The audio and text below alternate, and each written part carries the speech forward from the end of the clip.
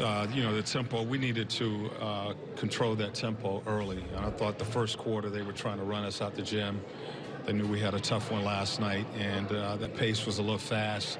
Uh, I thought second quarter just uh, took its toll on us. Uh, we couldn't score, uh, gave up three 30-point quarters, and, you know, we, we, we just needed to control the tempo tonight. Couldn't hit any shots. I thought their pressure, you know, forced us to have to work uh, offensively. And the looks that we did have, we didn't knock those shots down. And you're running into a New Orleans team that right now probably is playing its best basketball of the year. Yeah, well, they you know they play fast and they are playing good basketball. They've won their last three, uh, four now, and uh, you know they they play at a tempo third in pace uh, in the league. Uh, we needed to try to control that uh, tonight, and every time we it seemed like we missed, uh, they were off to the races.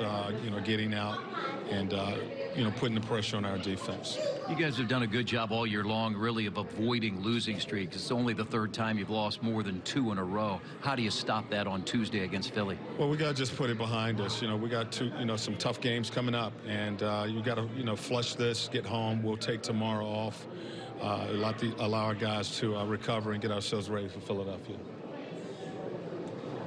Nate, did you think with this second unit, which had been so good for you in terms of injecting pace, um, was it anything other than just their ball pressure that kind of made things disjointed for you? Because it looked like they were like not even in sync.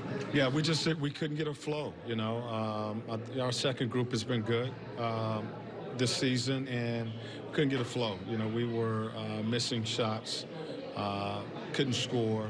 I think we scored with 13 in that in that in that second quarter, and uh, you know, they was off to the races. Every time I, I felt like we, we missed a shot, uh, you know, they punished us in transition.